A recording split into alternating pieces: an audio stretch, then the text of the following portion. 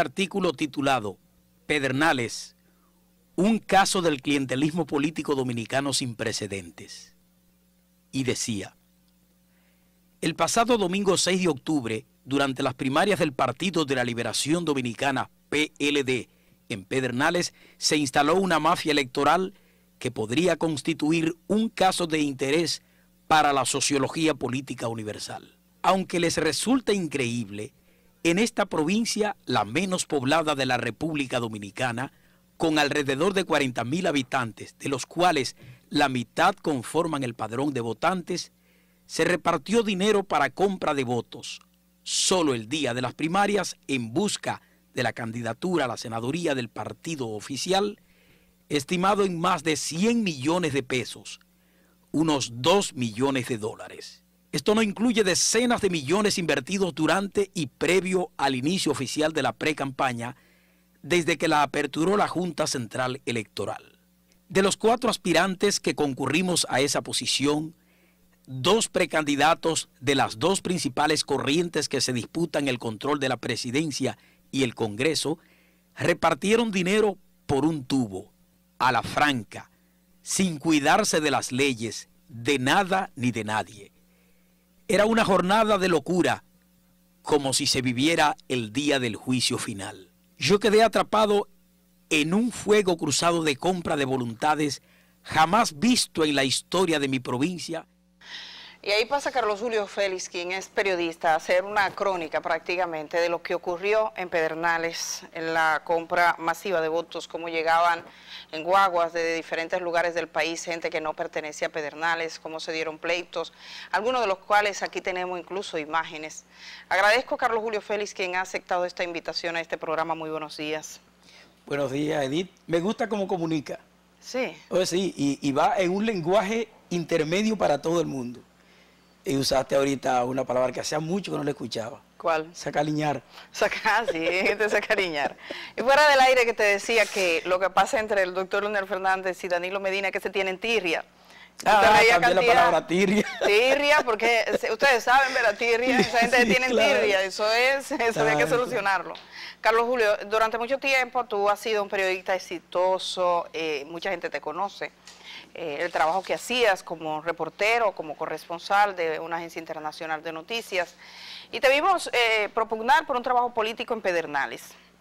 Eh, fuiste como aspirante, pero no eras de ninguno de los dos, de las dos tendencias del PLD, dígase Danilo y Leonel, porque no se vota ni siquiera por la gente, es esas dos fuerzas que ponen sus recursos al servicio de esa causa. ¿Cómo viviste ese día? Porque lo que describes ahí es un mercado, yo le he llamado el mercado electoral de Pedernales, y me llama la atención que también dices que eso no se había vivido antes, es decir, que sientes que hay una profundización del clientelismo político.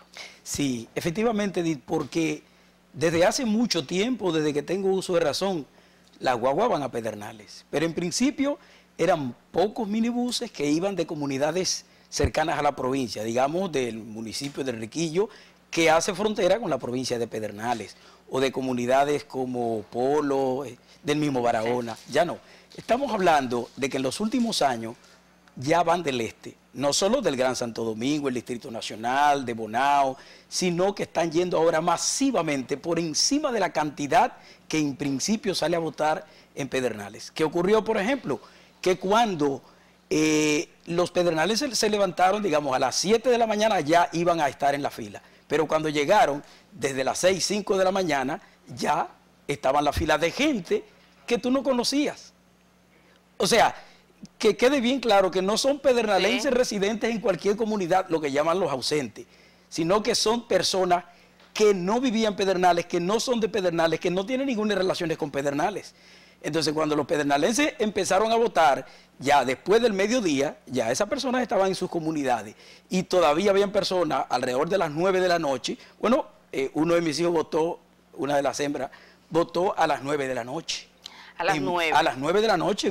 bueno, a las 9 de la noche ya se estaban dando los datos eh, precisos ya de quién había ganado prácticamente las elecciones a nivel nacional, quiero decir, de la presidencia. ¿Sabes si, porque la Junta había dicho si hay personas en las filas eh, que están en la fila a las 4 de la tarde, que era cuando terminaba la votación, se deja que esas personas terminen de, votar.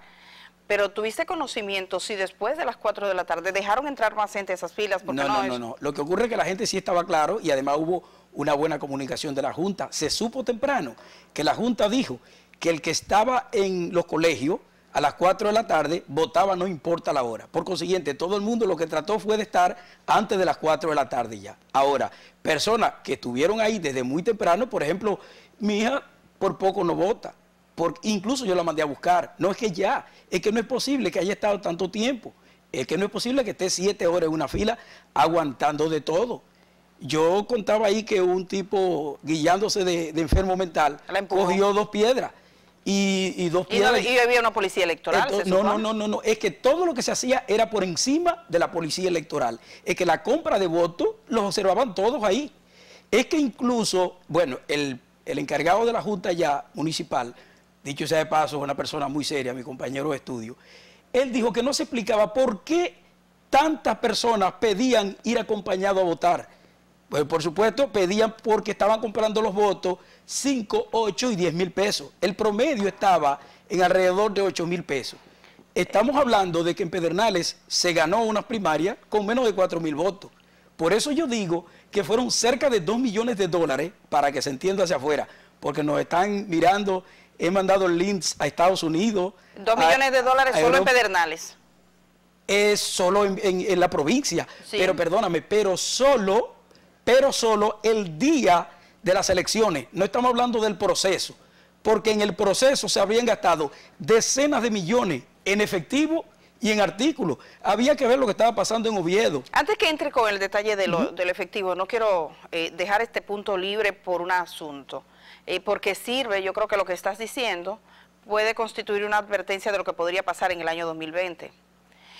Eh, hay un aspecto que dices, las la ayuda a las personas que entran a votar, que mucha gente llegó con otro al lado, yo vengo a ayudarlo a votar.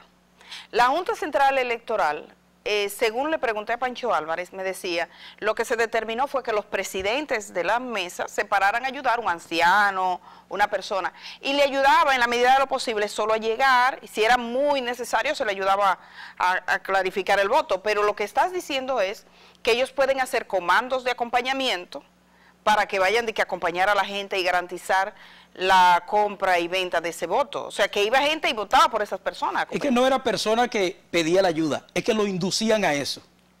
Es decir, que salían incluso los delegados también, porque de los delegados también se vendieron mucho. Ahí hubo de todo y para todo. Eh, déjame decirte incluso que mucha gente piensa que el PRM en un lado, no, no, no, llegaron a ponerse de acuerdo incluso eh, aspirantes del PRM, que reservados o no, para, que para ayudar, para ayudar a candidatos del PLD. No me diga. Claro que sí, pero eso ocurrió en Pedernales. Y, no debe ser Pedernales la excepción. No, no lo es. El, asunto que quizás... No puede ser la excepción. Que aquí tú lo has contado. Claro, que yo lo viví. que, tú lo, que tú lo viviste. Y fue más de ahí, hubo tiroteo y yo no lo conté. Tengo, sí, tengo Hubo tiroteo en Juancho. Bueno, eh, sobre el tiroteo, tengo alguna información. En la número, la número 9, por favor, señor director, que es problemas en Pedernales que nos muestra ciertas dificultades. Vi imágenes también de un hombre con una pistola en la mano. Que tú sepas, esos tiroteos y esos actos, ¿originó algún tipo de reacción de la Junta? ¿Hay alguien sancionado, procesado? No, no, absolutamente. Ni siquiera ha habido reacción con respecto a la compra de votos, que es una violación a la ley, sin ninguna duda, ¿eh? Eso es violación a la ley. Lo que preocupa es el futuro. Eso se ha convertido ya en algo como muy normal. ¿Qué va a pasar? El problema del clientelismo. Como un niño de 8 años te llama y te dice, dame 100 pesos que voy a votar por ti cuando sea grande. Eso te lo llegaron a decir. Claro que te apenaba. Y ya tú sabes lo que significa eso hacia el futuro. Es una sociedad que está... Totalmente dañada. Decompuesta totalmente. Yo quiero que veamos el video número 10, que son los líos en Pedernales, para que hablemos un poco de lo que ibas a decir del mercado en las eh, poblaciones cercanas al municipio de Pedernales, como era toda la provincia. Claro, claro. Vamos a verlo. Máximo dice que no va a salir.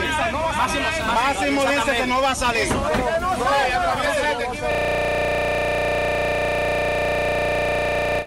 Ahí tuvimos, falló. Eh, sí, pero eso no fue... Eso fue después. eso fue después. Eso fue después, eso fue frente a la Junta donde estaban los Los documentos, como antes, como Porque si se fuera rumoró que el senador estaba ahí y entonces eh, fueron los otros de, de el actual senador, El actual Dionis senador, Sánchez. sí. Entonces, pero eso fue después. Eso no fue durante la votación. Eso fue después. Eso fue después. ¿Hubo problemas antes, durante y después? Antes, durante y después, por supuesto que sí. Incluso, mira, se violentó la ley electoral y la ley de partidos políticos a todos los niveles. Ellos se hicieron aquello en la ley, en las dos leyes. Eh, disfrazaban, por ejemplo, estaba prohibida la, la caravana y ellos las convertían en mano a mano, en cara a cara. La disfrazaban de esa manera. Te transportaban en 40 minibuses, por ejemplo, y te llevaban de un pueblo o de varios pueblos y te lo llevaban a calles, a pedernales, y Sí. hacían marcha y lo colgaban en las redes. Sí se violentó la ley por todas las partes, pero lo que yo no me explico es cómo, a nivel de cómo están las comunicaciones, la Junta Electoral no previó eso, no, no se daba cuenta. ¿Ustedes formalizaron alguna queja? Es en que, tu caso. es que ya como que Era un matadero. no tenía ningún sentido ya. Mira, una de las cosas que yo he pensado es saber si vale la pena o no participar en política. ¿Qué piensas hacer? Eh, por lo menos reflexionar. En estos días sigo reflexionando profundamente. Porque uno no puede eh, caer en la irresponsabilidad social y hasta profesional. Pero también hay que pensar que el precio es demasiado alto. Muy alto. Es decir, la política se ha convertido como que es a quien le conviene es a las personas deformadas. A los que tienen que perder, como que no le conviene. A los que no tienen nada que perder, sí. Y yo dije de dónde venía y para dónde iba. Yo dije que la política no me iba a cambiar. Eh, la política cambia y daña al que quiere. Y tú puedes tener la seguridad, se lo garantizo plenamente, que no importa la decisión que tome a partir de ahora, como no cambié en el periodismo ni tampoco en la política cuando entré en los primeros 15 años. Eh, para donde yo vaya o me quede ahí, como quiera, seguiré siendo el mismo Carlos Julio.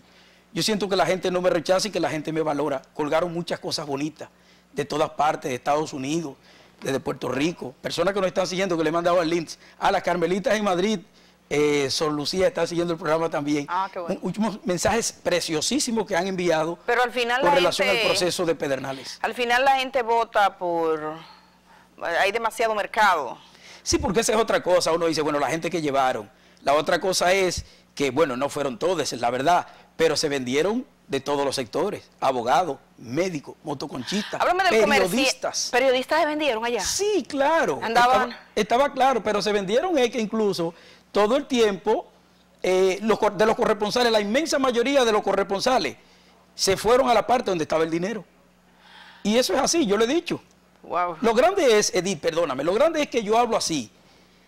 Nadie me dice que no, que no es como yo digo. No ha aparecido uno solo que me diga o que me lo demuestre que no es así como yo le estoy planteando. Es que la política va por un derrotero que uno no sabe qué va a pasar con la República Dominicana. Es decir, es que avergüenza. Es que para las personas que venden valores, mira, la campaña que yo hice fue una campaña preciosísima, elogiada por la Iglesia Católica, por los evangélicos uno de, de mis, de los miembros del equipo un pastor evangélico, presidente del ayuntamiento, una persona con mucho, muy Sí, honorable. el asunto es que el honor, la verdad, el Nada de eso, nada es por la institucionalidad. Yo quiero hacer una pausa y regresar contigo porque eh, obviamente también hay un asunto de, de- de cara al futuro. Esto es como un termómetro de lo que podría pasar en próximos procesos, la introducción, por ejemplo, del voto electrónico, la opinión que tienes.